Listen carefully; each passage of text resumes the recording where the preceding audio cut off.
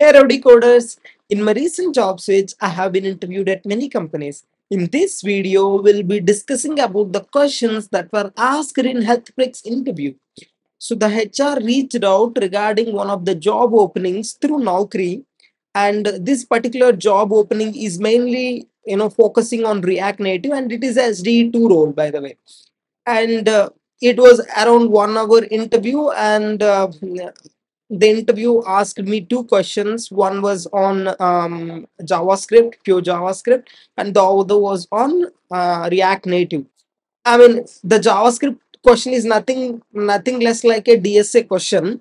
I have created an artic- article on this particular question as well.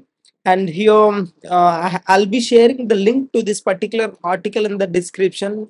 Feel free to check out.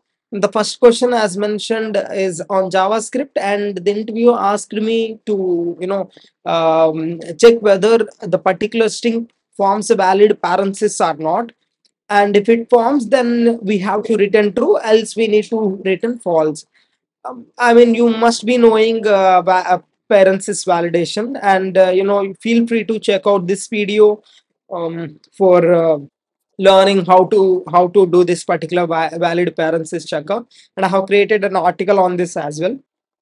Here is the article. And um, yeah and the second question was on react native and it was uh, to create an infinite scroll uh, component. And as it is on react native we have to use flatlist uh, for creating this particular infinite scroll component. And i have created a video and an article on this as well. Feel free to check out this uh, video and article to implement this. And um, yeah. And i have been say, sharing most asked interview questions. So yeah please do subscribe to my channel